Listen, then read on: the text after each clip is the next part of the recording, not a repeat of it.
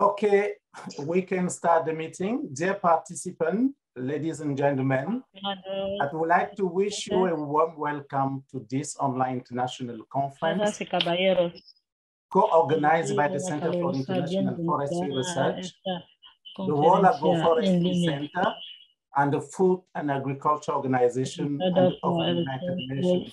I'm Dr. Abdon Awono, a scientist based in regional office of Yaoundé. Really honored to moderate this important conference on community-based forestry, and we really hope you'll appreciate the exchanges that we will have from the key speakers. We invited around the table people with great experience, and we're quite sure that we'll learn enough from the, what they have been doing on community forestries around the world.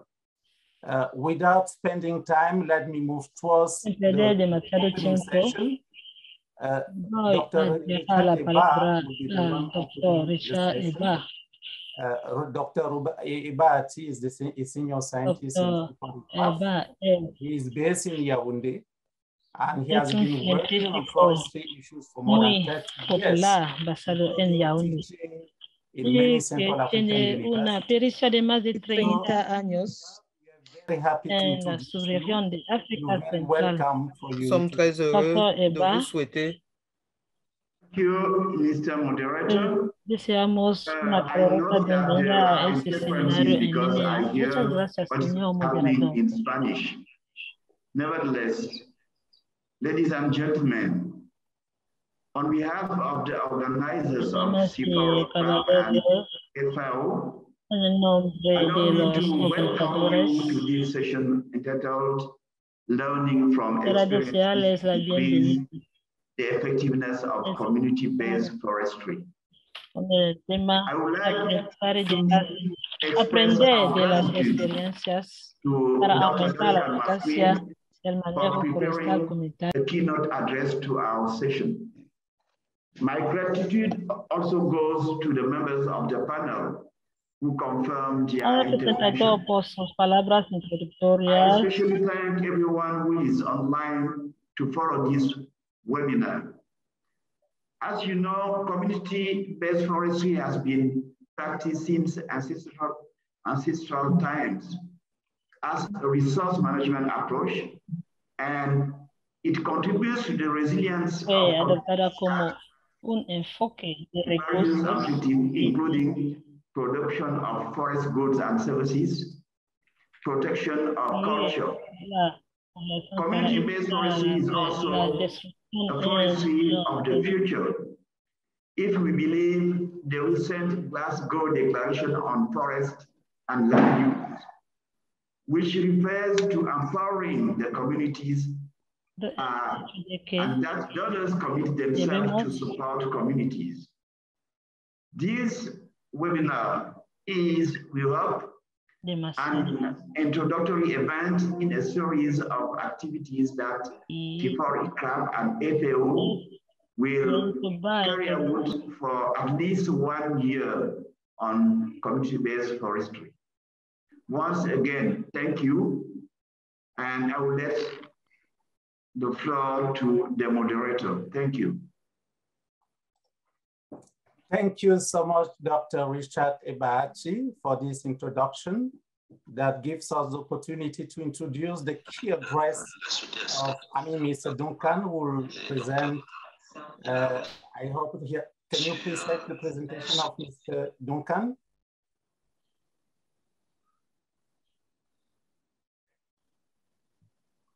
Please share the screen with the presentation of Mr. Duncan. Mr. Duncan is a team leader and principal researcher in forest and prosperity. compartir He works for the International Institute for pantalla Environment. para la and presentación development. del doctor He's Duncan. currently, he is currently focusing Duncan on knowledge generation para with the forest y- and farm y- y- facility. And he's trying to work to see how best to support local forests and mm. farms. Prior to joining the Forest Farm Facility, he managed Forest Connect, that supported locally controlled forest enterprises as an alliance of more than 1,000 Se trata del practitioners de at least 94 countries around the world. por las empresas. So we are lucky to have Mr. Duncan today. El for the estudio keynotes, abarca más de as we know, he has been 94 working países on that issue mundo for a very long period. tenemos una oportunidad de Duncan, you have the tener floor for doctor Duncan con nosotros you for hoy. Joining us. Thank you very much, Abdon. Um, I'm afraid I can still hear the por estar con Spanish tra- translator in my ear, and it's very off-putting. Um, so I'm not sure whether we Just can sort that out.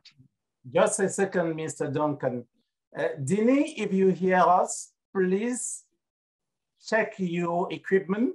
We hear the, the, the interpreter speaking, which make the sounds very difficult. So please check and make sure that we can go forward.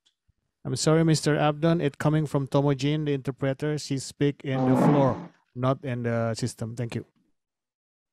So, so how can we correct this? Uh, Miss Tomojin, if you hear, please speak in the speaker uh, in the interpretation system, not in the floor. Thank you. Okay. Okay. So I will also propose you send a message directly to the person because you can do so.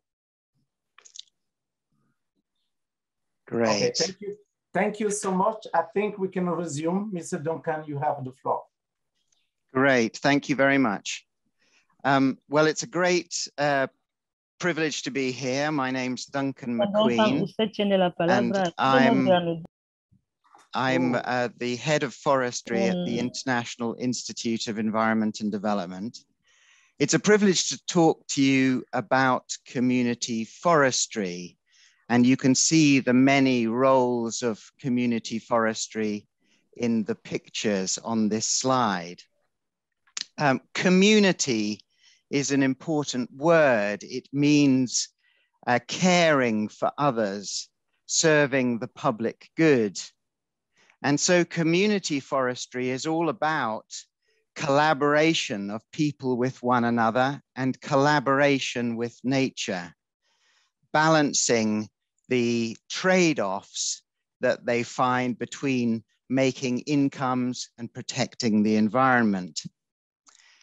And in an era where planetarily damaging inequalities exist because nation states are competing for power and corporations are competing for profit.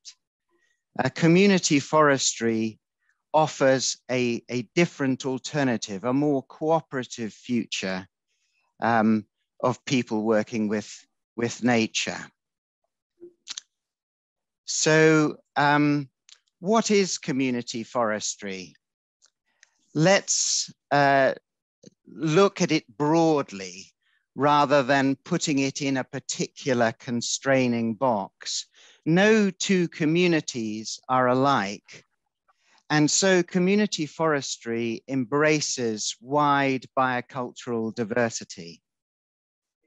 It includes indigenous peoples who are unique guardians of biodiverse forests. It includes other local communities, often at the forest frontier and more market oriented. It includes uh, farm smallholders who plant trees and work together to pool their knowledge, negotiate better prices and share costs. And it includes processing clusters of sawmillers and furniture makers, non-timber processors and artisans. Finally, it includes those who plant and maintain trees in urban landscapes and architecture.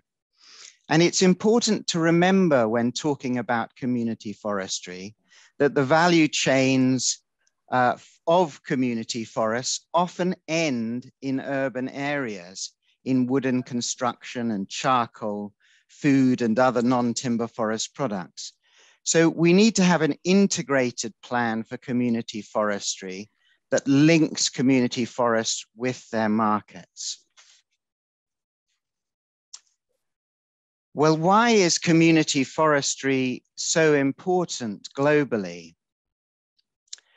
Firstly, uh, community forestry has an enormous social scale. Of Earth's 7.8 billion people, almost 2.5 billion are indigenous peoples or local communities. And 1.3 billion of those are highly forest dependent. So that's a third of the world's population that's involved in some ways in these communities. Secondly, the climate impact of community forestry is huge. Indigenous peoples and local communities occupy more than 50% of the land and forests globally, and yet so far they only have legal rights to about 15% of the forests.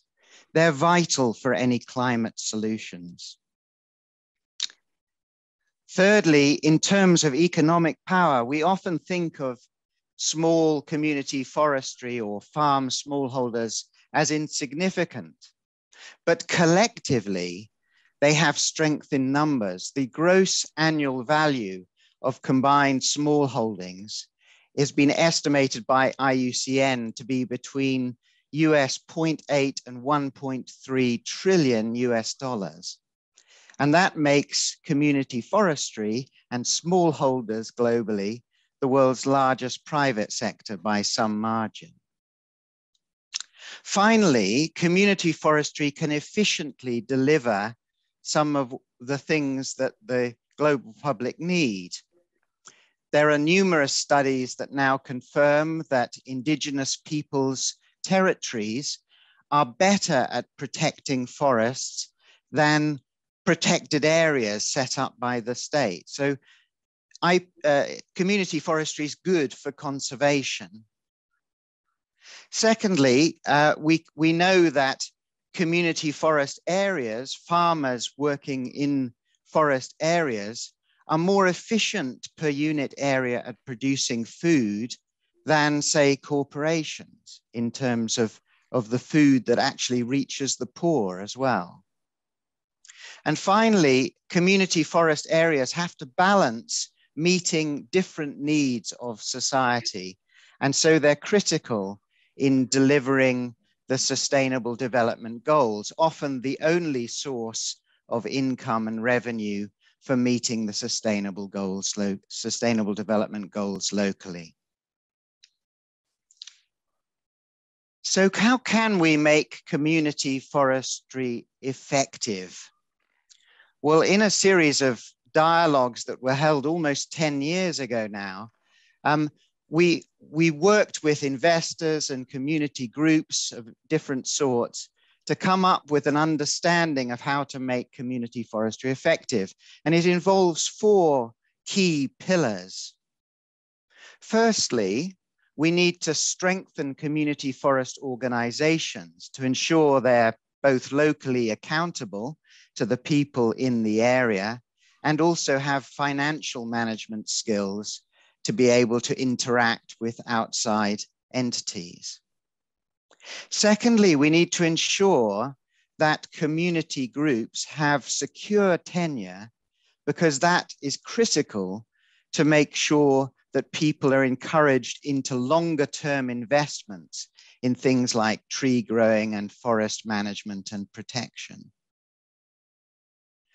Thirdly, we need to advance technical know-how so that people planting the right things in the right ways, uh, keeping them free of pests and diseases that are a, a growing issue in terms of climate change. And fourthly, we need to invest in profitable businesses that make sustainability attractive so that the incentive for community forestry is also linked to local livelihoods. Now, from the forest and farm facilities work over the last decade now, um, I've got just five tips about uh, how to make community forestry more effective. The first is really to understand and explain the benefits to local people of working together. That means working together in local groups, first tier groups, to share production costs, share information, and improve your negotiating power with markets. But also, one can organize regionally to add value added processing equipment and technology to provide marketing services for local groups, to provide services to local groups and finance. And thirdly, at the national level, at the third tier national level, community forest organizations can be federated to talk with government about making policies more enabling and perhaps acting as a channel for finance, development and climate finance to flow down to the lower levels. Internationally, community forest groups are sometimes uh, joined in associations like the Alianza Mesoamericana that can have uh, an impact in global discussions like the recent climate change COP. So you can see that in Guatemala, there's many hundreds of local community groups, 11 regional groups, one national federation, and a regional alliance. And in Guatemala, they have secured this pro bosque law to guarantee 20 million US dollars per year for smallholder producers.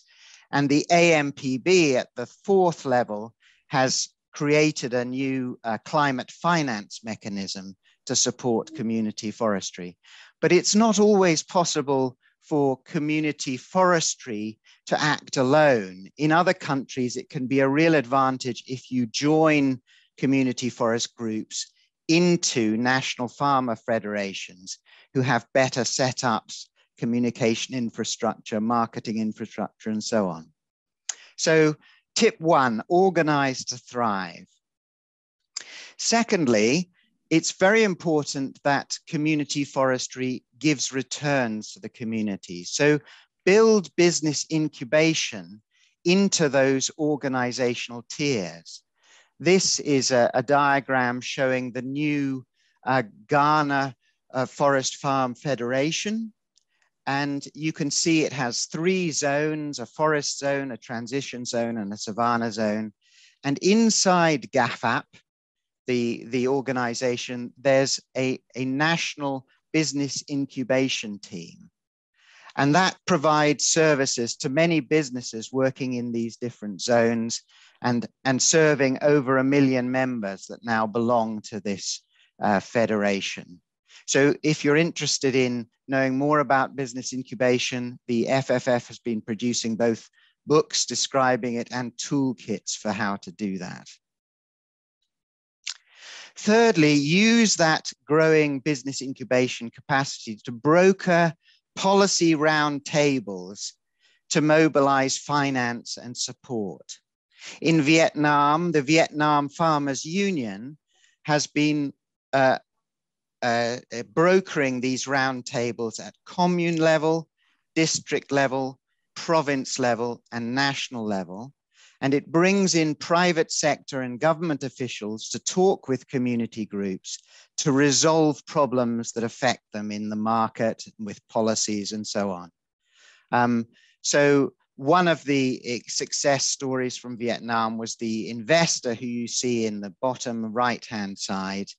He was brought into a policy roundtable. He wanted to secure the supply of cinnamon. And so he co-invested with the community group in a processing factory to produce 12 different types of cinnamon product. So mobilizing finance both within community forest groups and then co-investment with buyers can often be an easier route to finance than, than conventional banks. Fourthly, it's very important that uh, community forest businesses are constantly staying active um, and not getting static. Um, you have to evolve in business to survive. And that means that it's really helpful if you in, install um, a risk management process that happens on an annual basis. so that community forest businesses, they take stock of their business objectives, they identify risks that might be to do with the market, policies, climate change, their staff capability. They identify which of those risks is high priority, which has a high probability of occurrence and a big scale of impact. And they choose those risks to address in the year ahead, assign somebody who's responsible and monitor progress. In Ecuador, we saw the COVID 19 crisis affecting the ability of local community groups to market their products. And so one of the cooperatives in Ecuador developed a, an internet-based uh, online marketing and delivery website as a proactive response to solve one of the risks they faced. So use risk assessment to keep you alive and evolving. And finally, um, especially in the face of climate change, try and diversify community forest practice and business to build resilience.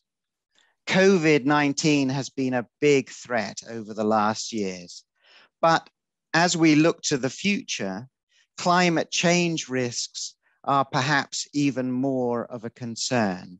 And when we interviewed 41 different uh, community forest related groups in six countries, their top priority was to know how to cope with a ever more variable climate that's affecting planting, plant survival, what they can sell and so on. So it's very important to build resilience and that's not just about ecological resilience. It's also about offering new services and support mechanisms to your members, selling and marketing new things in different ways, building up your physical infrastructure so that you can cope better with climate related shocks in the future. And you can see this uh, community forest group in Madagascar who used to be producing peanut oil, now diversifying into aromatic oils um, so as to, to have uh, less risk of complete failure. So those are just five tips for making community forestry more uh, effective. Uh, you can read uh, more details in the publications that I've tried to show on the screen. And now I'll hand back to our moderator and thank you very much for listening.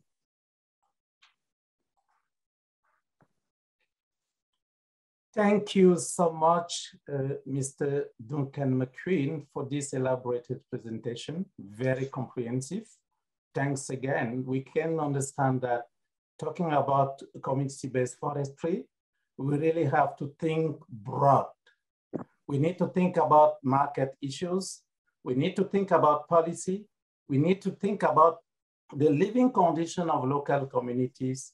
We need to think about the sustainability of the landscape that are targeted. So there are a certain number of issues we need to bear in mind. We need to strengthen the capacity of local communities if we want to succeed community-based forestry. We have to secure tenure for local community, and there is a great need of developing a kind of technical knowledge to push forward and address the challenges coming from community-based forestry initiatives. And of course, there is also a need to invest to make community-based forestry attractive and to ensure returns to the local communities. Because if it is not the case, it is obvious that we will be dealing with things without taking into consideration the realities of the area. Thank you so much again, Mr. Duncan Macqueen. We will now seize the opportunity to introduce to you a video that will present a case that is specific to Nepal. And from it, I think you'll also learn a lot from that. So please, can you introduce the video presenting the case of Nepal?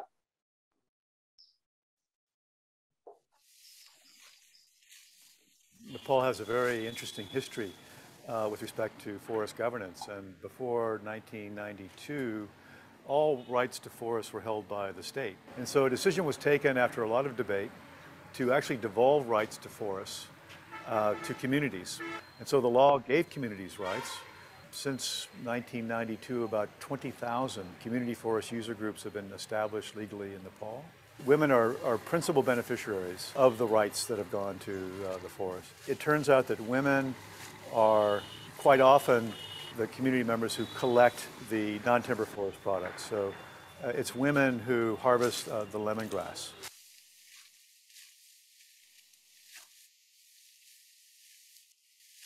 मेरो नाम दधी कला पौडेल खेती किसान गरिन्छ किसानी हुँ। म यो हाम्रो वार्डको अहिले निर्वाचित महिला सदस्य पनि हो। यो पाँच वर्ष भयो। हामीले यो यो जात यो जात भनेर छैन हाम्रो एउटै जातको छैन यो समावेशी छौँ। हामीले फुर्सदको समयमा रोपेका चिजहरू हो यिनीहरू लेबन ग्रास पामा रोजा सिटोनेला हामीले चाहिँ रोपेका छौँ। त्यो तेलहरू हाम्रो समुदायले किनिदिन्छ। हामीलाई पैसा दिन्छन्।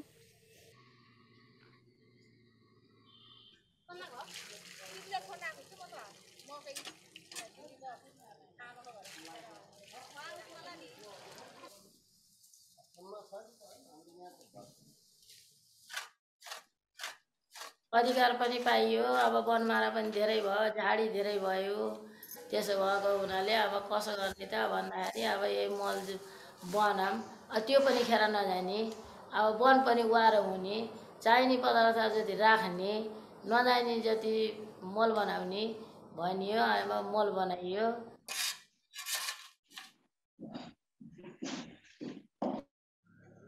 हामी चाहिँ आफ्नो घरको मुलीसँग यहाँ जान्छु है भनेर पनि जान पाउँथेनौँ। हाम्रो च्याडा हेरेर नि भन्न त पर्दैन भन्न मन लाग्यो कि होइन? हाम्रो अधिकार थिएन। महिलाको अधिकार पनि पाएका छौँ।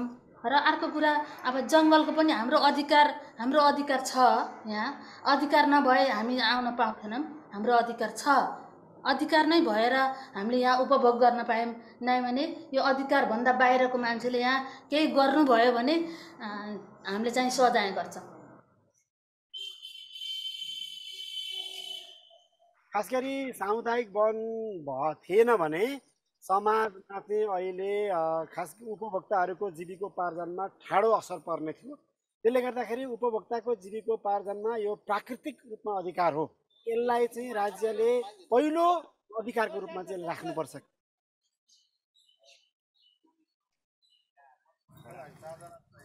Well, this is a tremendous example of a community forest uh, uh, enterprise. And the, and the, most significant one is uh, elephant rides that are offered to tourists.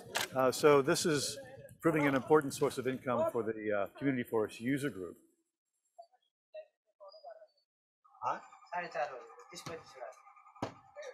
यो आय आर्जन चाहिँ हामीहरू त्यही इको टुरिज्म पर्या पर्यटनबाट हामीहरूले वर्षमा करिब करिब दुई करोड जति हामी आम्दानी गर्छौँ। त्यो मध्ये हामी पच्चिसदेखि तिस पर्सेन्ट हामी कन्जर्भेसनमा खर्च गर्छौँ। र अर्को कुरो हामीहरूले यो शिक्षामा खर्च गरेछौँ।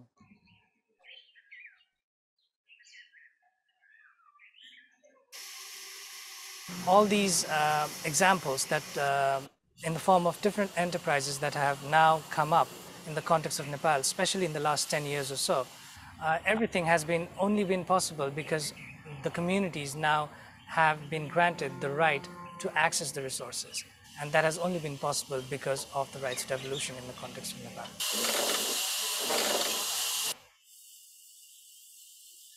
What this has also facilitated is that uh, the communities can now partner with private enterprises, for instance. Uh, they might not always have the capital or the equipment to process and produce what they want to produce. So in a way, this access to the market uh, of community forest user groups has been facilitated by the rights that have been devolved in the form of tenure rights. I think we're, we're finding that leadership uh, in the community is very, very important. It's also a factor of regulation. Uh, we find that there's quite uh, considerable differences across Nepal in how the, the district forestry office uh, uh, interacts with the community forest user groups, particularly on economic enterprises. कानुन चाहिँ एकदम strongly छ तर पनि हामीहरूले केही मात्रामा खुकुलो गरेको खण्डमा हामीहरूले धेरै काम गर्न पाउँछौँ। नाम चाहिँ आफ्नो नामबाट चिनिने अवसर पनि हो पाइयो होइन? र सबैले चिन् सबैले चिन्नु पनि भयो यो फल्ना हो। फल्नाको श्रीमती भनेर चिनिनुभन्दा आफ्नै नामबाट चिनिनु एकदम गौरव लाग्यो कि। केही त गर्न पर्यो जङ्गलको लागि। एक जङ्गल एक उद्यम भन्ने एउटा आश छ होइन? केही त गरौँ न हामी बाँच्ने बेलासम्म केही गरेर त मर्ने हो। केही गरौँ। अब हामीले गरेको देख्यो भने हामीभन्दा पछाडिकोले नि गर्ला। यसो गरेको थियो नि हाम्रा आमाहरूले दिदीहरूले भनेर गर्ला।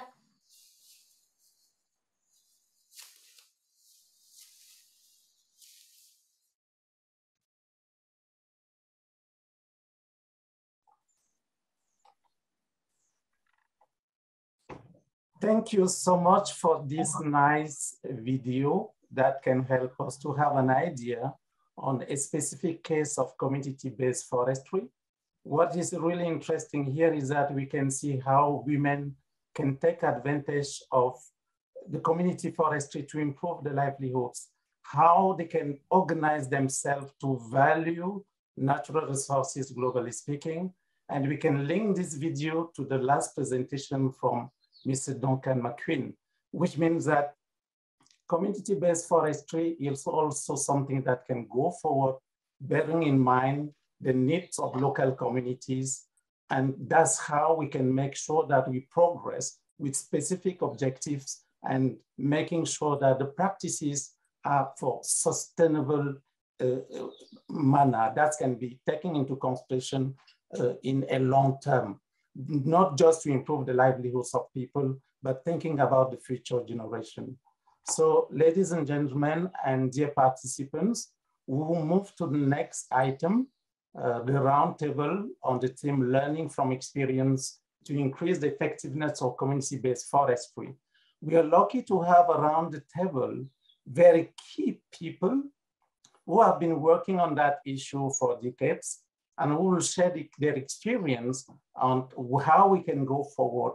How did they succeeded to solve the type of challenges they, they, they have been meeting along the, the, the, along the line. So we are lucky to have with us Mrs. Anat Centeno, uh, Dr. Honore Tabuna coming from ECCAS, uh, Dr. Uh, Julius Tieguhong working for the African Development Bank, and of course, Mr. Karma, who is also close to the FAO project and who will share experience. Let's start by Ms. Centeno. Ms. Centeno is a community leader from Petén, Guatemala, and served as the secretary on the board of, trustee, of directors of the Carmelita Cooperative. Mrs. Centeno is very interested in valuing non-timber forest products specifically, and she works to improve the value chain of several of them, including Z-leaf farms, all species, Ramon nut, and so on and so forth. So, Mr. Tenu, can you please tell us how you'll be dealing with all this and which link can we establish with the community-based forestry? The floor is yours, Ms. Centeno.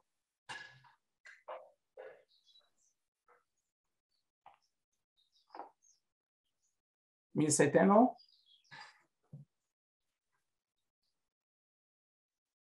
Muy buenos días, muy buenos días. Gracias por la oportunidad que me dan de compartir la experiencia desde la Asociación de Comunidades Forestales de Petén, en Guatemala. Eh, eh, somos eh, la Asociación de Comunidades Forestales de Petén, que aglutina a 21 organización de base comunitaria que hacen manejo forestal sostenible. Eh, cada una organización cuenta con sus respectivos planes de manejo autorizados por la que es el ente rector de, la, de las áreas protegidas. Observa la biosfera maya, específicamente en la ZUM.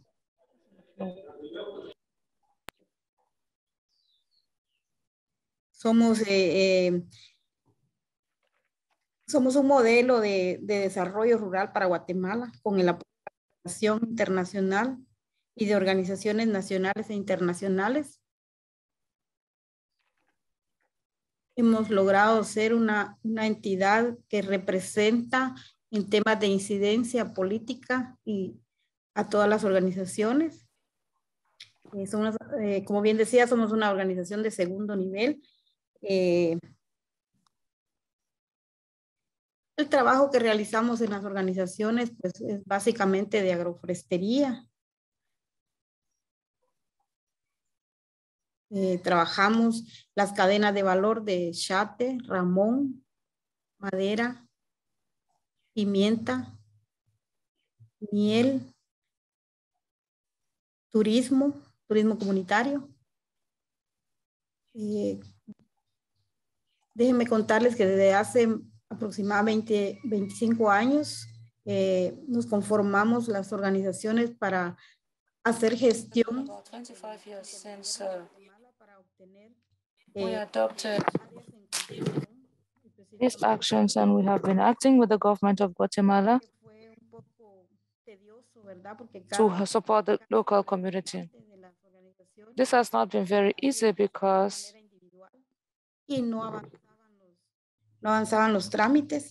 we had to manage resources in a virtual manner. organización de segundo nivel para aglutinar a todas y hacer, hacer la gestión de manera conjunta. And all of this enables us to manage the resources together. casi a punto de, de vencer su contrato also are taking into account all the elements which have helped us to manage together. And these are the elements which we have been able to accomplish for the past 25 years. personas de las comunidades a través del, del, uso, del buen uso y manejo de los recursos del bosque. Improvement of the living conditions of the people through the sound management of forestry resources. So we are therefore providing support. We ensure that uh, organizations, community organizations are able to have a political impact and we hope that uh, on the efforts of all and sundry, we shall be able to have people who have direct benefit from our actions. We are also trying to empower communities from uh, of people working in civil society organizations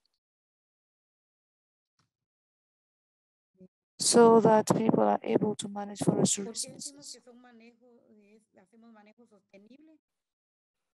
Why do we say that we have uh, interest in managing community forests better? All of this has to do with the fact that we have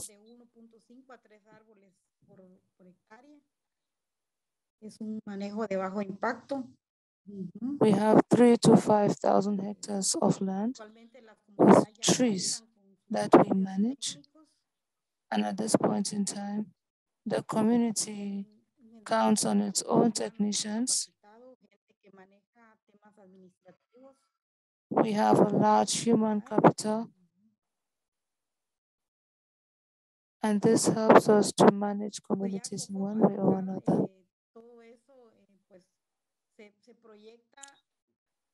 Our COFOM has taken into account all these objectives and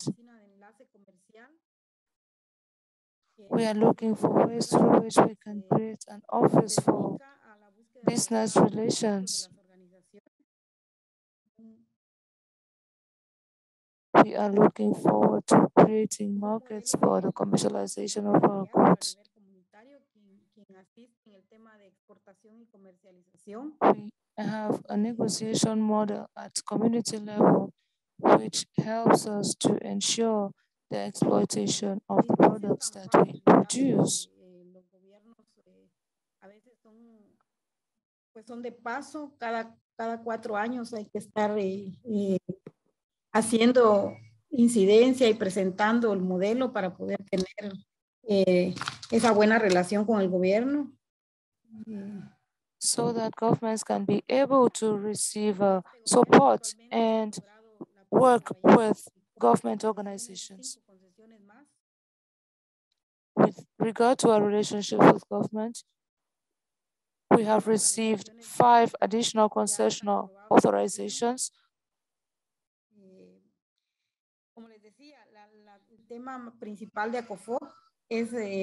As I was saying, ACOFOP's major activity is to improve the living conditions of our people and to create new production value chains for the benefit of all. I'm going to focus a little more on some aspects of our actions.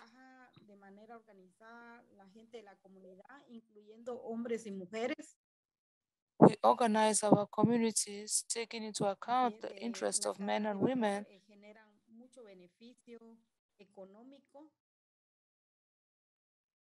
Value chains create more economic benefits for everybody. And there are a number of activities that men can carry out with um, in their communities uh, alongside their household chores. In ACOFOP, we have several activities that we carry out on a regular basis. And we have tourist activities where women have been uh, empowered to assist tourists at local level.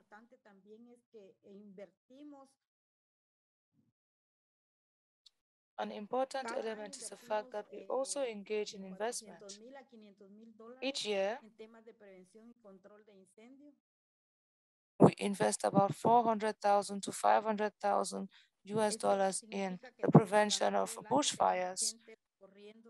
And this means that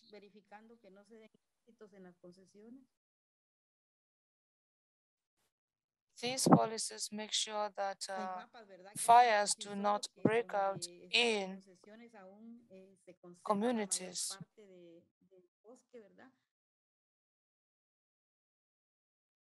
En manos de las concesiones. So we are working to protect all of our forests and all the plots of land that we have received in terms of concessions.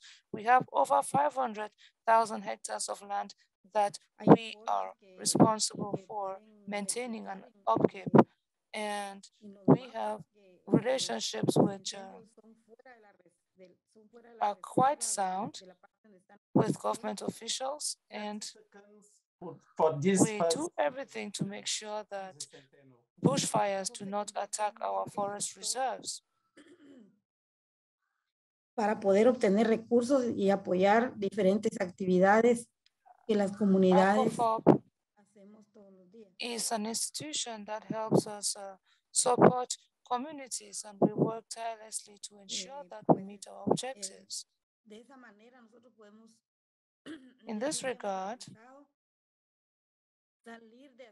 I could say we have made significant progress in the activities that we carry out.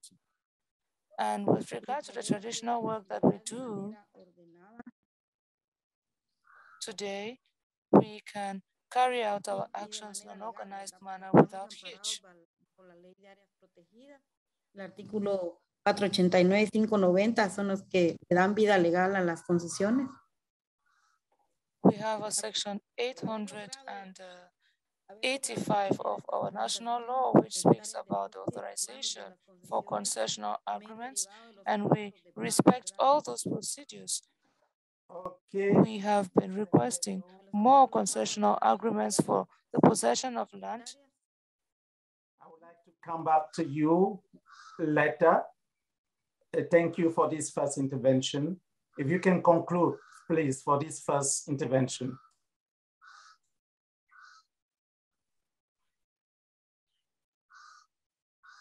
Okay. okay. I think Ms. Centeno is done. Thank you so much. I'm really sorry for the French translation because I got a message that the translation didn't work. And I hope the technician will set the equipment in such a way that next intervention, the translation be very interesting. Thank you so much. I will come back to Ms. Centeno later on. Uh, I would like now to move towards Dr. Honore Tabuna. Dr. Honore Tabuna uh, has worked for several international organizations, including the World Agroforestry Center in Central Africa. And he's now, uh, let's say, in charge of, is the commissioner for the environment, natural resources, agriculture and rural development department from the economic uh, community of Central African state.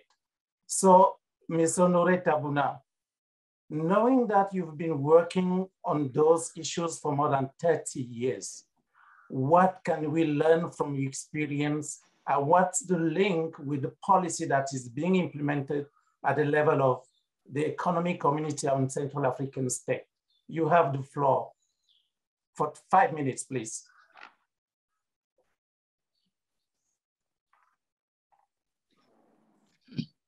Merci beaucoup, Monsieur le modérateur. Merci aussi aux... Thank you very much, Mr. Moderator. I would like to thank the organizers for inviting the ECA to this meeting. And we are based in Libreville in Gabon. Le commissaire en charge du département environnement. The commissioner in charge of environmental management, management of natural resources, agricultural. C'est un plaisir que je viens ici au nom de 11 États membres de la CEAC et au nom de l'ambassadeur euh, Gilberto de Apiadade, qui est le président de la commission, pour partager avec vous euh, rapidement, euh, comme il l'a dit, hein, j'ai travaillé ou je travaille sur ces questions-là depuis plusieurs années avec l'idée de rechercher la valeur ou bien l'idée d'ajouter plus de valeur économique à ces questions de capital naturel dont la forêt en général est un des représentants et la forêt communautaire en particulier ça a été rappelé. Alors, euh, euh, j'ai que cinq minutes. Donc, en cinq minutes, je ne peux pas tout dire. Euh, normalement, il me fallait plus de, plus de temps parce que je représente 11 États. Mais bon, on va réduire ça à cinq minutes. Juste pour vous dire que le fait de travailler pour la CEAC et en lisant et en regardant, en écoutant les uns des autres, nous sommes là dans un secteur économique qui est encore à l'état embryonnaire, puisque bien qu'il fonctionne, on se rend compte que les revenus générés ne permettent pas aux populations euh, euh, d'améliorer leurs conditions de vie. Et comme cela a été prouvé partout dans le monde, il faudrait donc passer à un autre stade. We are going to move to another element which requires an innovation to make sure that all of us make progress. And this uh, goes with markets. And we cannot stop simply at a level of local markets. We should start thinking of how to move to national or regional markets, most especially for them, I would say for the people. And uh, we are in a period where we are working towards uh, the African Continental Free Trade Area, and we need to make efforts to roll back all tariff and non-tariff barriers so that the people who manage community forests should be able to sell the produce of their forest well beyond their geographical forest. We have uh, a market of over 200 million people on the basis of scientific information from the sub-regional office of the economic uh, regional the Economic Commission for Central African States, uh, with an office based in Yaoundé, um, it is mentioned that the market will reach about 400 million consumers in the nearest future, and we need to have a share set aside for community forests. This means that for the ECA, it is a regional approach that will help to solve the issue of uh, developing community forests and its economy. So we are going to take all these elements on board and in the sub-regional forestry scheme, we would see what we can do about it. In Central Africa, you know we do not have a forestry policy, but this issue of community forests has been taken into account in the strategic plan that we adopted and asked heads of states of ECA to adopt. So we therefore have a political willpower at sub-regional level to develop the economy of community forests. At this point where we have it today, the issue is to know what would the economic sector of our Central African forestry uh, economy be in the next 10 or 15 years or in 20 years. One of the things we need to do is to make sure that, or I think this has already been incorporated in the policy, is to look at the institutional framework, given that we need to work at regional level. We need the federation or the confederation of our states, we need to put our community forests together in Central Africa. And this federation or this grouping should be strong enough, very strong, I would say, and help it carry its actions without hitch. The next thing has to do with capacity building, capacity building for all groupings. These groupings need to work hard. How can we carry out this organization? Generally, we thought that uh, all functions of an enterprise could be taken into account. That is production, processing, trade, marketing, accountancy, etc. People need to get specialization in specific areas of competence and we see what exactly is the relationship they have with other stakeholders from civil society. We can, we can take on board consultants to help them play the role and uh, do the job or that enterprises need and uh, issues of marketing, etc. Given that I only have five minutes, I would say community forests are quite important for all of us because in Central Africa today, we have the Confederation of Small and Medium-Sized Craftsmen. This is the only sector today which is formation dans la troisième transformation du bois. Vous vous rendez compte? Doing serious work. If we take uh, the issue, the timber sector, you see that there are a lot of craftsmen working in the timber sector to develop uh, the sector. So a lot of investment is expected for things to take off. Um, I am here in Brazzaville within the framework of a conference organized by the United Nations on the economic value of natural capital within Central Africa. We noticed that there are so many organizations with specific outlined agendas, and you would see that people have different objectives that they are pursuing.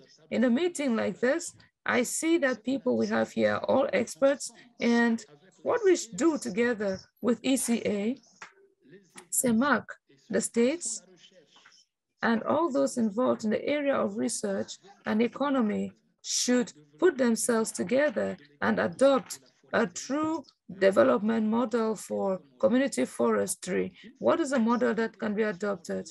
Once this model would have been adopted, we would see how we can add value to what the people are doing independently. There is nothing we can invent. The entire eco world economy on natural capital, etc., proceeds from these things. And as far as biodiversity is concerned, you would say that a lot of people had done so many things in the past. I would take the case of uh, coffee. Coffee, which of course was a spontaneous crop, you see how some countries have developed on the basis of the sale of coffee. So they probably cannot, some countries probably cannot do everything, but we need to open up doors or to all these people who work on community forests, people who come from forest areas, etc. So we need to open the doors to all these people who are coming from research institutions, etc. So in five minutes, this is what I could tell you, or to say that we have a vision at the level of the sub-region for the management of our forests in the environmental or forestry management schemes. We are finding ways through which we can incorporate our community forests. It is a regional program for forests which head of states adopted, and we are going to make of this program a permanent program, permanent, and we would work with all those who have a say in community forest management to have a shared vision of, of the objectives that we pursue so that 30, 40 years after, we shouldn't be at the same level. This is business. It is not just about engaging in philosophy, it's about engaging in business. This is what the people expect of us. There are no two ways in, uh, to do business. You need to develop the market, produce goods, and you develop every other necessity. Mr. Moderator, this is what I had to say so far. We have a real willpower or the political willpower from heads of states to develop the urban forestry uh, sector and this is also a part of green economy sector in Central Africa. You know, Central African countries are opening up their doors to green economy. This is an element which you must take into account to help the people engage in environmental protection. You know that Central Africa has just been plebiscited out of the eight RECs in the African Union.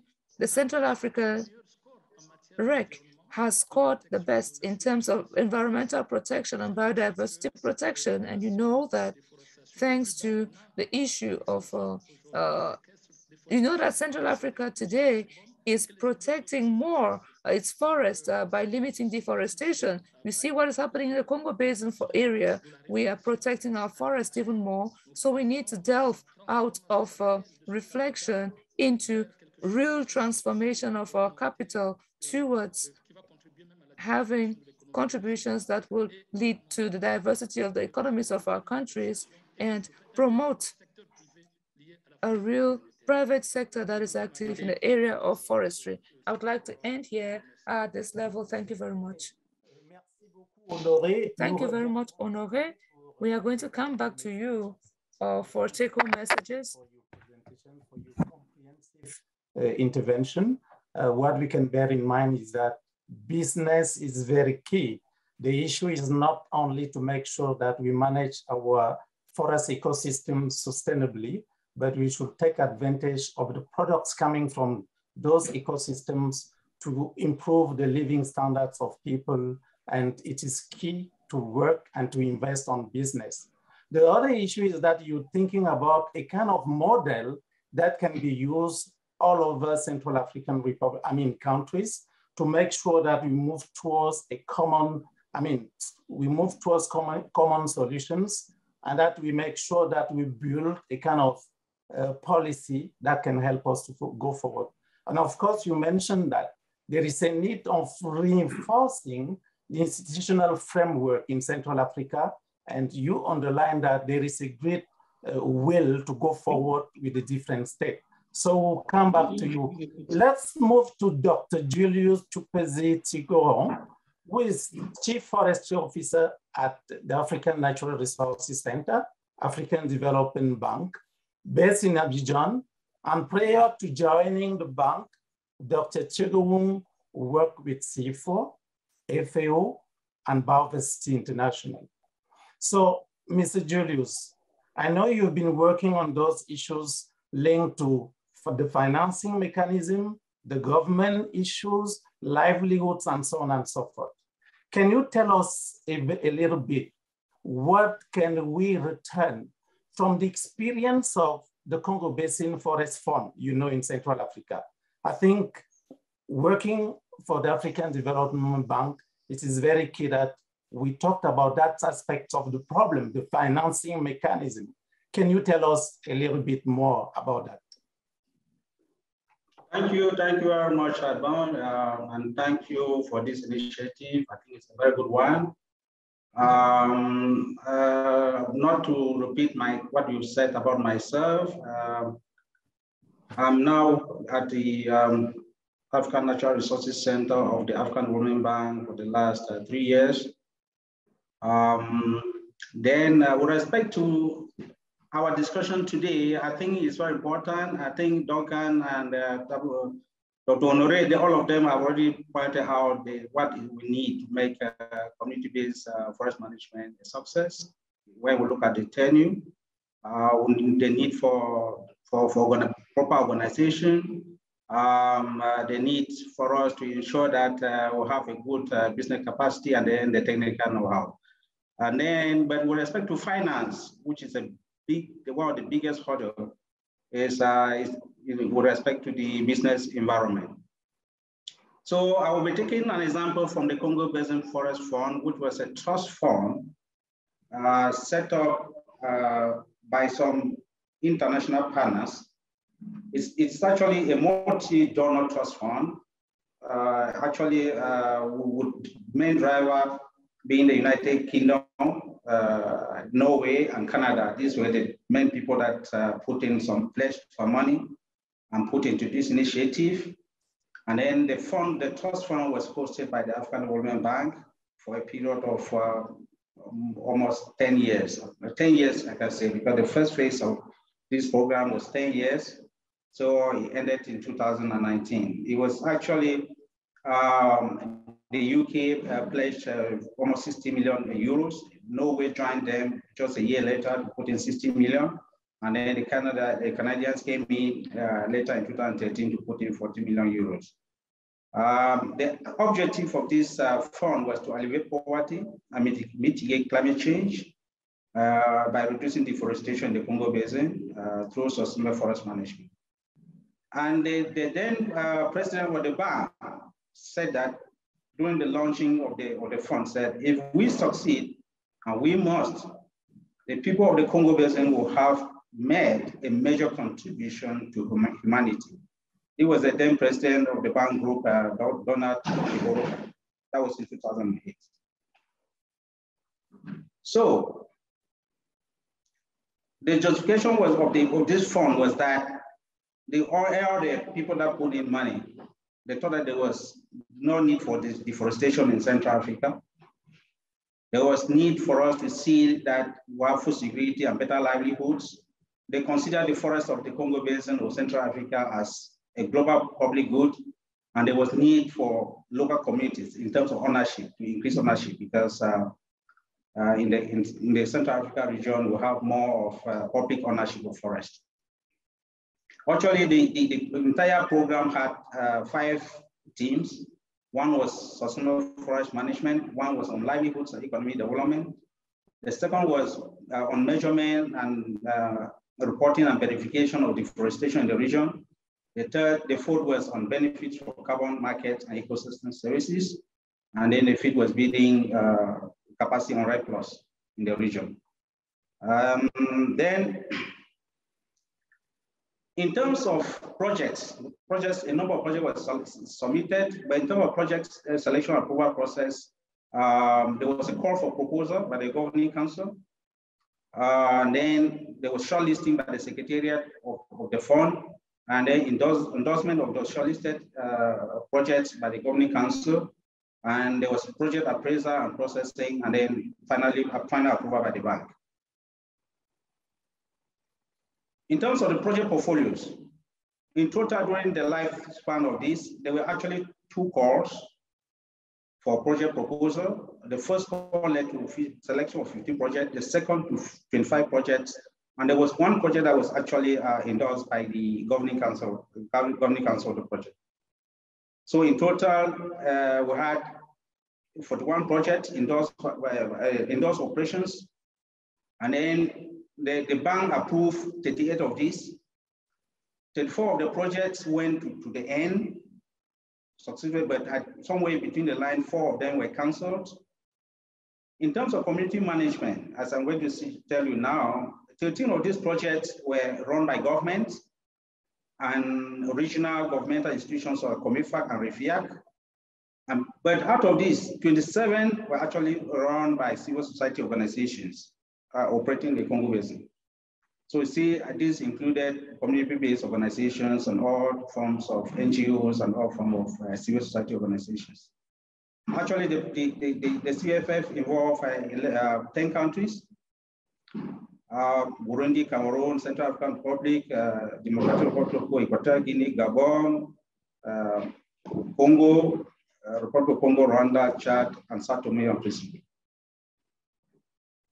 In terms of uh, the actual cash, as of 31st December 2018 that the project ended, we had coming out of the funds that were, we had uh, 73, almost 74 million US dollars that was uh, committed, euros that was committed. And out of that, 63, almost 64 million was disbursed, giving a disbursement rate of about 86%. So that is about the project. What were the results? So we have some, I don't know what I would say about the results uh, in the next uh, discussion, or I just say, okay, it's what I see here. So the, four, the result, main results were classified in four different headings, sustainable forest management, livelihoods and economic development, monitoring, uh, reporting and uh, verification, and then benefits from carbon markets, ecosystem services. So as you heard very well uh, from Duncan's uh, discussion, uh, that tenure is very important. Uh, one aspect for, for success of community-based forest management. So land use plans were developed for uh, 34, almost 35 million hectares of forest. And then more than one, 100,000 men and women were trained on sustainable management of forest resources.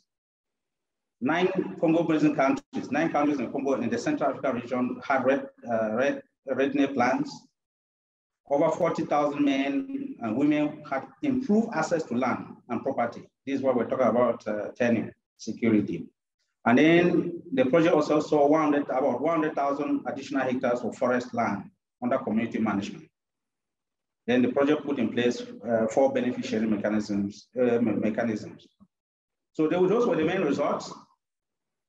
So I've done maybe for the lessons learned, because something came out uh, very, very interesting uh, that Duncan talk about. Um, the project had a lot of success stories, but there were a few uh, um, downturns that a lot of lessons were learned from the project. And, uh, and uh, I think we may have to discuss this next, or I should just go on and finish, Abdul. Uh, Julius, I think you will wait for a while because yes. I know Nori was coming from another meeting. I would like yes. to speak to him to let him finish his. Then I will end here. That is all about uh, uh, the Congo Basin Forest, Forest Fund. Generally, briefly, that is the brief how it went. The project, the Congo Basin, uh, Congo Basin Forest Fund was set up okay. and how it was implemented and the main results. So I will end here for now, and then we'll continue with the lessons later. Thank you. Okay, thank you so much, uh, Julius for your comprehensive intervention. We will come back to you to see what's the lessons we can draw to make sure that we contribute to improve the community-based forestry initiatives around the world. Thank you so much.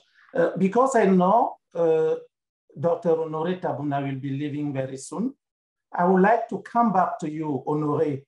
Qu'est-ce que nous pouvons considérer comme des leçons qui peuvent contribuer au niveau politique en Afrique centrale à améliorer le processus de la foresterie participative. En 3-4 minutes. S'il te plaît, je n'ai pas bien suivi la question. Sorry, I did not hear the question. Honoré, thank you very much. Thank you. I would like to ask you, I'm saying that I know we are in a process where we think we can do a lot better on the basis of experiences that we have collected so far throughout the world. You have presented the situation of Central Africa to us. I would like to know what proposals you can make to ensure that we get things better and improve the process of participatory forestry or community forestry in Central Africa and across the world. This is a very good question because you're saying across the world, this is a global issue we need, first of all, to make sure that those of us who provide support to these communities need to uh, put our hands together and have a world-class initiative on this issue. It would be a positive thing to see that CIFOR and other organizations working on the issue of forest management be together in a kind of consortium, we would define a vision and common objectives that will help us make progress. We have what it takes intellectually. We have the natural resource, which is diversified. We even have uh, the cultural exp expertise. Indigenous people have know-how, which gives us information that can yield economic spin-offs, or we can use uh, some of those uh, things for uh, the production of cosmetic products, etc. The issue is to know which, which organization can join hands with which organization to see to, to it that we make progress. ECA has its pro vision, ECCAS has a vision, etc. In my opinion, what we need to look at closely is the fact that we need to merge our efforts. You see that CIFOR, ECCAS, ICRAF, etc., can put their hands together and see how we can develop forestry or forest management. At the level of EC, uh, of ECCAS, we can build a framework document and make sure that we work together with the network of World Network on Community Forests. Uh, I believe that uh, with you who are in the area of research, some of us politicians, we can put networks of marketing and forest management six systems to do something together. In Central Africa, we have just merged all higher institutes of uh, learning, which shall be invited to attend a meeting in Brazzaville next week. And we are trying to see how we can merge our efforts. We have a model of a private sector which is indigenous, which exists so far. And if we put our efforts together, if we are well organized, we can quickly improve the livelihoods of our people. People have uh, markets and uh, let us put our hands together and do business. States in Central Africa or analysts or politicians are all in agreement. We need to start making things happen. Those who want to help the people form a consortium and we make progress together.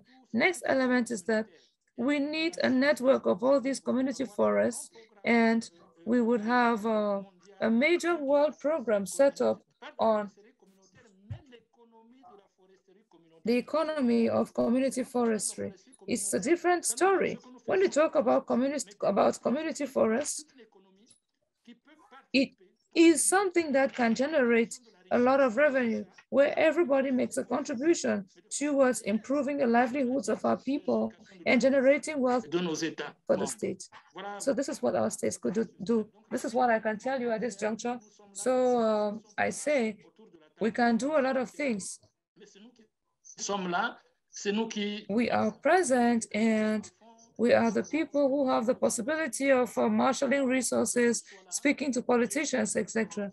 The fact that I am present here with all the activities that I have on my hands, I decided to sneak out and attend this meeting because it is useful for us to develop the issue of community forests. I am not talking about developing community forestry, but developing the economy that uh, can be generated from forestry management. How can we add value to the activities that uh, community forests can generate? Thank you very much. Thank you so much, Honore. I know you, Merci, but you have accepted to join us for this important event. Thanks a lot. The key lesson from your message is that we really have to create a kind of network of community-based forestry initiatives in Central Africa. You started doing some uh, initiative, you started taking some initiatives on that line with the forestry schools and so on and so forth. I think your message has been understood Thanks a lot for your intervention. I will introduce someone, Mr. Karma, who is Chief Forestry Officer, a Social Forestry Inspection Division from the Department of Forest and Park Services. S'il vous plaît, est-ce que je peux partir? S'il vous plaît, Abdon. Oui, merci beaucoup, Honoré. C'est bon, merci, c'est très gentil. Merci. Hmm. S'il vous plaît, Abdon, parce que j'ai un autre engagement. Oui. Est-ce que je peux partir? Parce que j'ai un autre engagement. Vous pouvez partir. Can I leave? You can leave. Thank you very much, Honoré. Thank you. Nous sommes, prêts, nous sommes prêts pour ce consortium et nous devons le faire. We are ready to put in place the network. We are ready. Okay. Merci beaucoup, Honoré.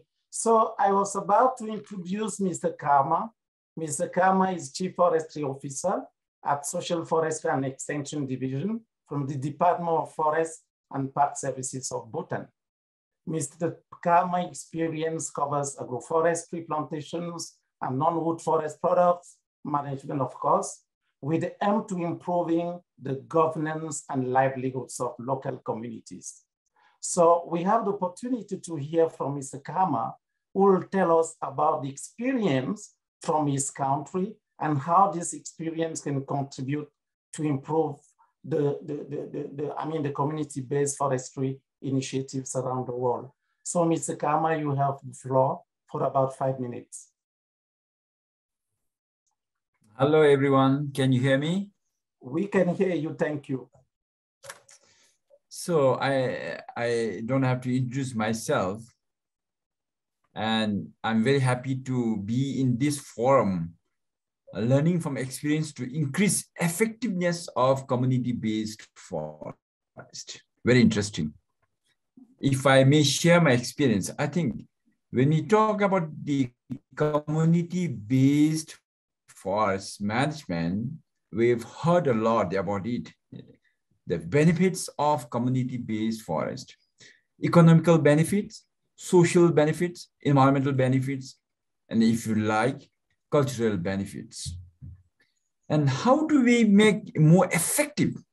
How do we make this community-based forest management more effective? I say more effective because I wanted to emphasize more on effectiveness of community-based forest. It becomes more effective because it gives uh, a room to look at the responsibilities, empowerment, and also the ownership. And more so, it becomes more effective because community-based forest management allows to recognize the very important aspects of the social part. If you look at the social landscape, because it gives us uh, community-based forest management gives us to look at the social landscape through that lens, we would be able to recognize who are the vulnerable group within the village or community. So it becomes more gender sensitive.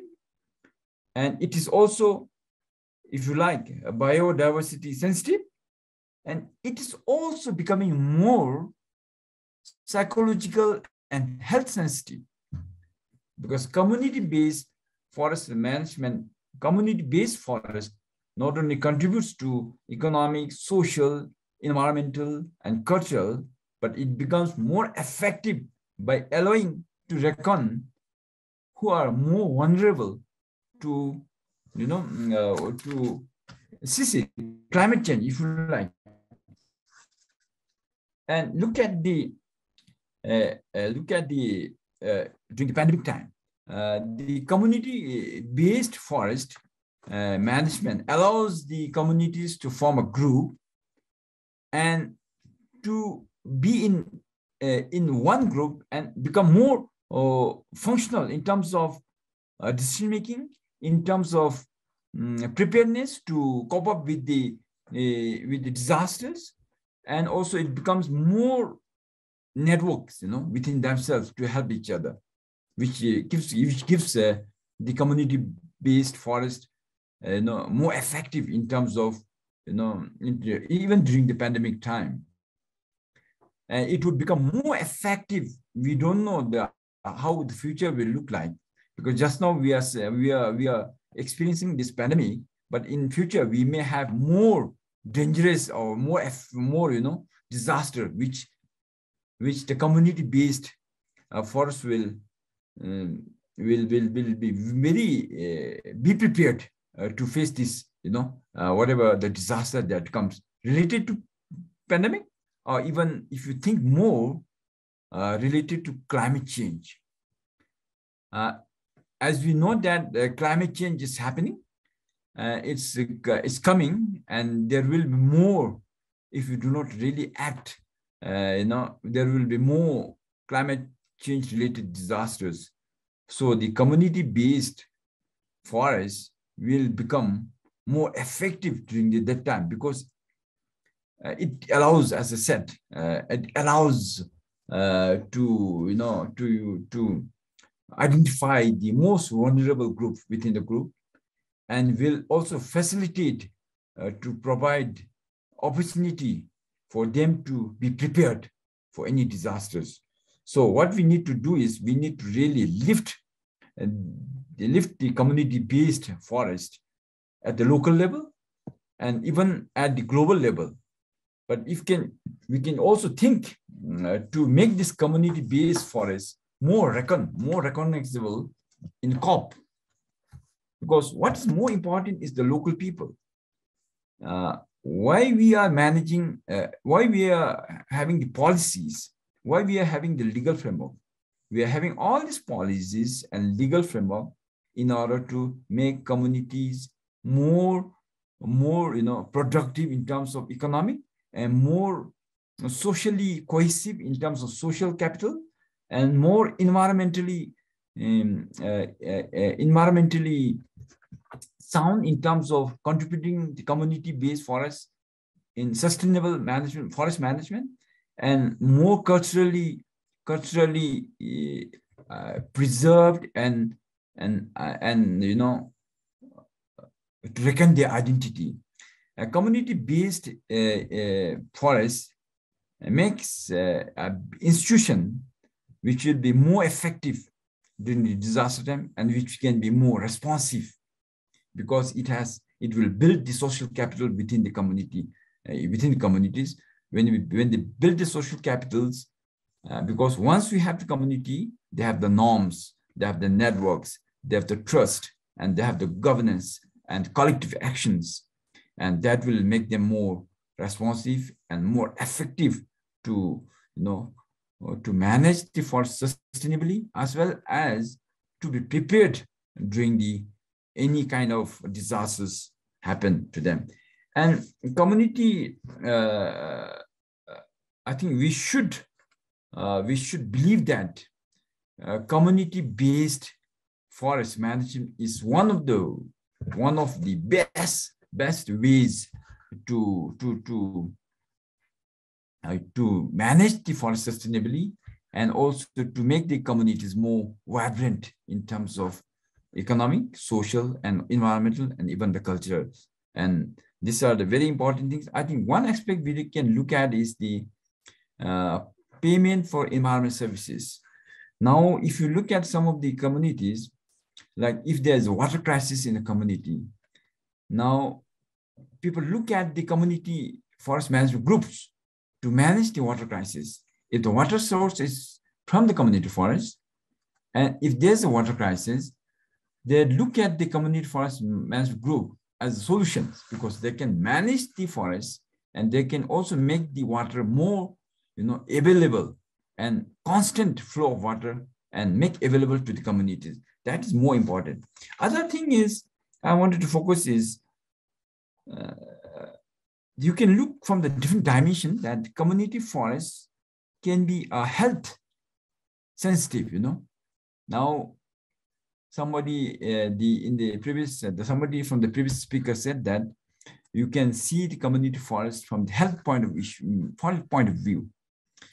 Uh, community forests, community based forests can be more, uh, more sellable in sellable, sellable in terms of health because tourists can come in the community forest and look at the uh, forest. If the forest is more ecologically sound and also sustainably managed and very good, uh, you know, uh, environment, then people can use that forest for the health reasons. When you go in the forest, people will definitely feel that it gives them psychological confidence and psychological, you know, um, help uh, to the people who are wanted to, you know, visit uh, the forest for the benefit of the uh, community, for the benefit of the health. so I feel that okay, community-based this first intervention, please, Mr. Kaur.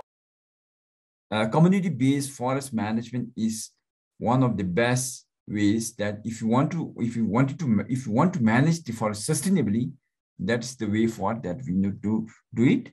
And even looking from the protected point of view, protect forest protection point of view, if you like protected areas, if you do not involve communities in the conservation, in the to manage the protected areas, it would be very difficult.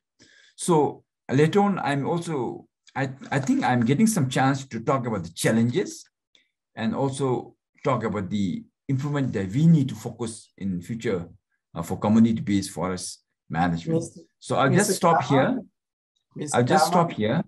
Yes? I know you've been waiting for a while. Let's just conclude your intervention. You have one minute, then I will not come back to you. What's your take-home message? What's your take-home message? My uh, take-home message is you should believe on community and you should trust the community and you should you know build the community from the point of you know having stable tenure system so they should have legal backup and they should be involved in any kind of sustainable forest management. So without involving of the communities i think it is very difficult for us to manage the forest as well as it's very difficult for you know you to make the forest uh, for climate change you know if you like improve the forest for climate change. That's it. Thank you so much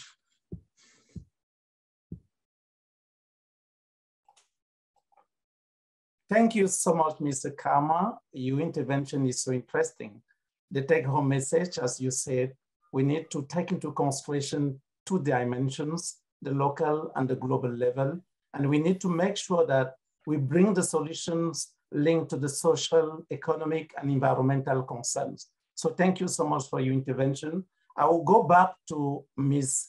Centeno. I hope she's online. And this time I will give you the floor for one minute, only one minute because we are running out of, out of time. One minute for your take home message. Ms. Centeno, you have the floor.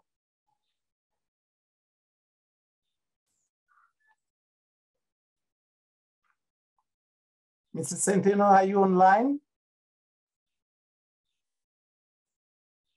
Is Ms. Centeno online? Okay. Okay, so you take home message, please. Sí. Just to conclude your intervention. Pues eh, el mensaje básicamente, básicamente el mensaje que yo daría es que debemos de unir esfuerzos, ¿verdad? Para, para poder eh, salir adelante y como bien decían los compañeros, buscar alternativas que de verdad conlleven al, al mejoramiento y calidad de vida de las, de las personas de las comunidades a, a través de la búsqueda y apertura de mercados donde se puedan ofertar los productos forestales provenientes del manejo forestal comunitario.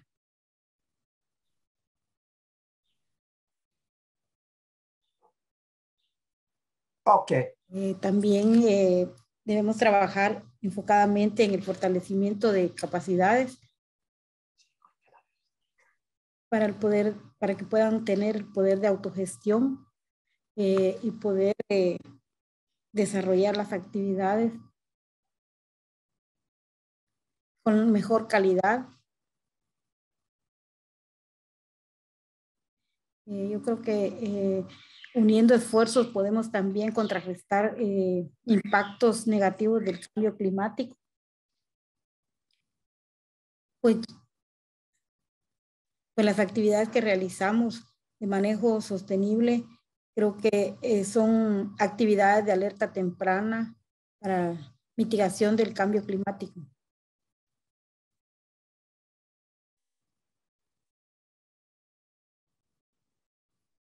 Básicamente por ahí estaría yo con mi intervención.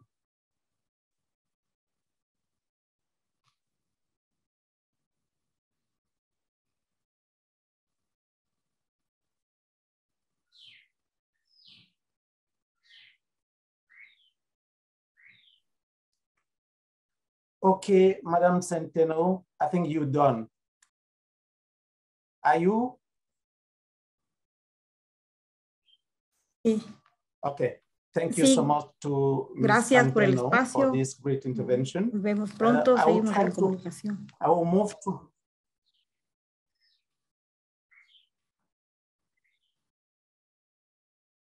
So let me move to the next speaker, uh, which is uh, Honore has left, she has finished, so it's okay. Let me move to uh, Julius Tieguhong. Julius, we all agree the financing mechanism is very important, very key for the success of community-based forestry. So what's the take-home message? What do you think should be done to make sure that we improve the way things are being conducted on the ground? What we need to recognize uh, in the forestry sector that any intervention, um, actually I have uh, six take-home messages uh, in terms of lessons on implementing forest projects, in terms of scaling up a trust fund, setting up a trust fund and managing it, in terms of donor relations, and in terms of communication and evaluation of such trust funds. But so I will summarize this by saying that um, we need inclusive participatory processes uh, and to know that these processes takes time. So any forestry project, we put three years, we may not get the required results. Uh, we cannot demonstrate results in forestry sector within three years. We need to allow ourselves some time uh, because most projects that link to the forestry require changes in behavior and a lot of other things. Setting up the networks and all that, it requires time. So we shouldn't have project less than five years. The second thing I want to say is that uh, for an innovative trust fund that has to deal with forestry, we need to recognize that the possibility of failure and knowing that uh, for success, success may come from failure if failures are understood and learned from. So in a project like this, we had 86%, we had a lot of success, up to 80% of indicators, but we also had a few failures. Uh, but we should know that these failures should not make us feel that we are losing, that we should always know that we can learn from those failures to move forward. And that ties to up to what Duncan talked about, uh, risk, use risk to identify development pathways. The risk here is that possibility of failure. So we can use that to define our development pathway, pathways in all projects uh, that can be uh, governed by trust funds, financed by trust funds. I think basically for one minute, that is okay for me. Thanks.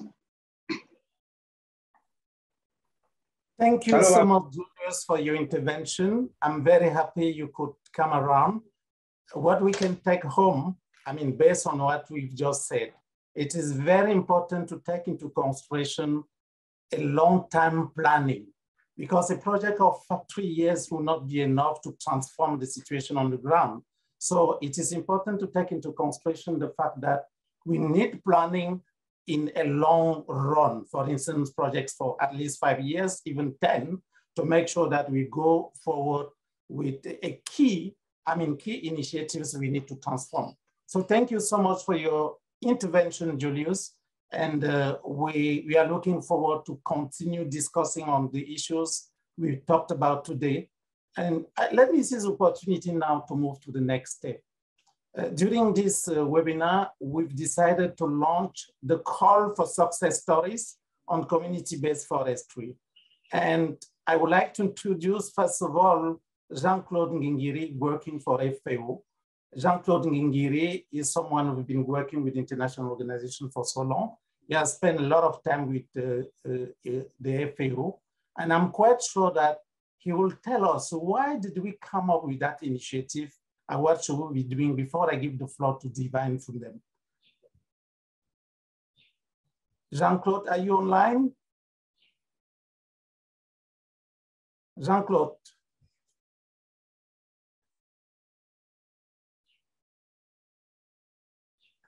Can you follow me, Jean-Claude? Okay, if Jean-Claude is not online, I will go straight to Divine Foundjem. Divine Foundjem is a scientist in CIFOR-ICRAF based in Central Africa, in Yaoundé specifically. He works on the value chains and enterprises. And he has the opportunity to tell us what's the content of the call for successful, I mean, for success community forestry stories. So if you can put on the, the screen the call, I will be very happy. Divine, you have the floor, please. Thank you very much, Abdon. I don't know if these people are hearing me. I can far from the mic. Thank you very much, Abdon, for giving me the opportunity to present the call for success stories on community-based uh, forestry. Um, I think we have heard interesting uh, stories about uh, successes of community forestry uh, across uh, Africa and Asia and even Latin America from the talks of Duncan, Anna, and Karma. Uh, Julius also talked about the finance mechanism. But if you look at, if you listen to the literature, you will often hear that uh, more negative stories about community forestry uh, community-based forestry than the success stories. So what we want to capture here is, do we really have success stories? And if yes, what are they? So um, our, our, the objective of the call is to identify some community-based uh, forestry success stories uh, for the preparation of a synthesis report, which will be used to provide evidence about uh, community forest success stories. So what can we actually learn from these stories and how can we use it other, what can we gain from these success stories to come up with new interventions to use community forests in improving livelihoods and the forest landscape in general. So the, the proposed call uh, for success stories um, uh, should actually uh, uh tell us stories about what actually, what factors contributed to the uh, success stories we are trying to describe in, in, in, the, in the call for abstracts that we are talking about. So we should bring out the factors which may be maybe innovations in the legal uh, context. There may be uh, well-organized producer groups as Duncan made mention of. There may be business or financial approaches as uh, Honore talked about. It may be also the fact that it was very inclusive because it included a lot of youths and, and, and women in the entire process. So we are calling for success stories. The first stage is a call for abstract. We would expect abstracts of between 800 to 1,000 uh, words. Um, which uh, first, what, the, what is the content of the abstract? It should be a catchy, uh, it should be a catchy uh, title and, and an introduction that describe the context and major challenge that the success story tries to, tries to describe. Then the body should talk more about what changed actually in the, the commit in the success stories or in the in the context in which we, we, were, we are describing, what was learned in the entire process. We expect the, the abstract to come out or the success story to come out with powerful statistics to show numbers of what changed over the period that we are describing. If we also have interesting quotes, please add them in the success stories. So we, we, we expect for those who are interested, and I, I believe most of you in this call are interested in the success stories, we expect that by the, as from today, between today, December 7th and January 7th, uh, that is one month from now, we expect that you come up with, you send your abstract to us, uh, and the abstract should be sent to, uh, we will share with you the flyer that describes, that, that uh, uh, launches the call for success story. You will send to Flores Muno at cgir.org and also to Abdon Awono at cgir.org, a.awono at cgir.org. Can you type that in the chat? Uh, yeah, I will, I will. Yes. So we expect the, the, uh, the abstracts to come in latest January 7, 2022. Um, uh, as I said, the abstract should be between 800 to 1,000 words, and it could be in any in, in either English, Spanish, or French. Then we expect the full stories to be developed between January 29, between January and March 30, uh, and, and March 11. We expect the full success stories to be submitted for those whose abstract will be, will be uh, selected. So between December 7, which is today, and uh, July 30, 31st, uh, we are expecting to have a full list of uh, uh, the, the, the, book that describes the success stories uh, published by the 31st of July. So we expect that the 20 cases that will be selected based on the abstracts would be will be supported by uh, CIFOR ICRAF in collaboration with FAO to develop the full success stories that will be between 3,000 and 4,000 words. Without much ado Abdon, I think that is the content of our success story. So we are expecting all of you to send, please, exciting stories that will share with us for those who do not have the opportunity to present today, or those who presented, please share your success stories to us. And a panel of scientists will at least and will uh, select 20 of those cases that we are going to uh, showcase in the in the in the in the book that we have we intend to publish by July 2022. Thank you very much, Abdon. Thank you so much, Divine. Uh, we can then see that uh, we had opportunity to share the experience from some people during this uh, conference. But of course, we have many other cases that people would like to put forward for people to know around the world. That's why we would like to get the final publication with 20 success stories that will be very key for the future of community forestry because we need to share what works and we need to show what we should be doing to make sure that we improve the process along the line. So thank you so much for your great presentation. We are moving towards the closing remarks. I hope uh, Dr. Jean-Claude Nguinguiri is already around for him to take the floor. It was a great pleasure to have all of you online who share as much as possible all the documents that we generated during this conference, and you will receive a message distributing all those. It is also a great thanks to the speakers. It has been very, very tremendous, very, very helpful. And with me, I know we all learned something from this important event. Jean-Claude, are you online for the closing remarks? Jean-Claude.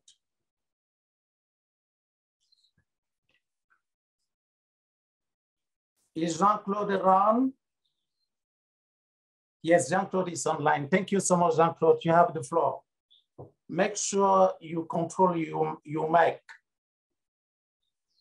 because we cannot hear you.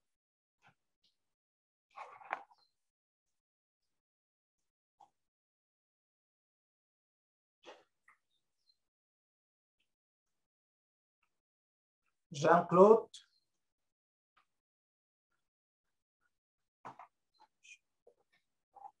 I saw the answer from Jean-Claude saying that he is online. Maybe he has some challenges with the network. Jean-Claude, if you have, if you follow us. No, it's okay. Okay, thanks a lot, Jean-Claude. We can follow you. Yes, okay. Okay. Sorry, yes. okay. Yes, uh, okay. Uh, dear participants, uh, dear colleagues, uh, we have uh, reached the end of this important event.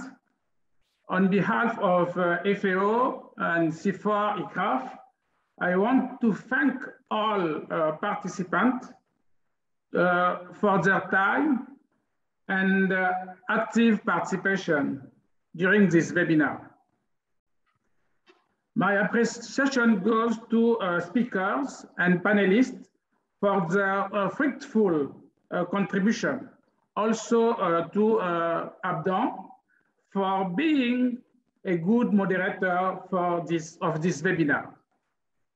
This event outlined the need to learn from the past experiences to make CBF more effective and reinforce the role of uh, community-based forestry has uh, uh, an appropriate mean uh, to assist countries in their effort to address emerging issues such as halting deforestation, restoring forest ecosystems, building resilience in forest-dependent communities, and improving their livelihood. I believe that we have reached a consensus on this matter. The challenge is now to get uh, the commitment of participants to disseminate the call for success stories on CBF and uh, to submit abstracts. Dear participants, the success of this initiative is in your hands. We need your support and cooperation. Please disseminate the call for success stories with your networks. Invite your colleagues, invite your friends to submit an abstract. The launch of the first call for success stories on community-based forestry has took place today. After this first call, there is a need to continue to collect other success stories. As you know, there are hundreds of successful initiatives that can serve as models for future projects. I would like to take advantage, uh, advantage of this opportunity to invite other partners to join FAO and CIFOR in making this initiative more useful, giving the opportunity to countries to learn each other from their success and failures and putting forest-dependent communities on the front line of sustainable use of forests and also action against deforestation. Thank you so much.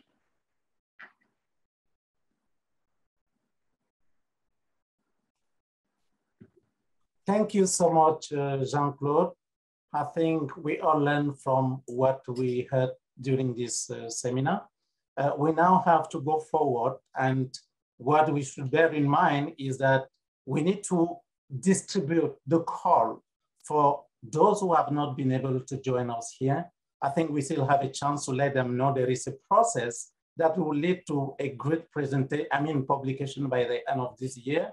And we need to select the key stories, the very suitable stories about community-based forestry. And I know the number of people we had during this conference were around 200 people moving up and down because some people have been coming in and going up. Thanks a lot for your great presentation. It is very, very appreciated. We are very happy for that. Thank you to FAO. Thank you to CIFOR-ICRAF. We are all, we, we, we are together, like we say in my country. Thank you so much. And we wish you a very nice day. Thanks a lot and bye-bye.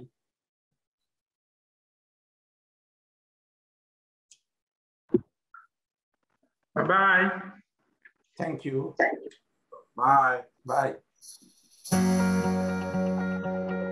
Oh, thank you so much. Thank you so much. Bye.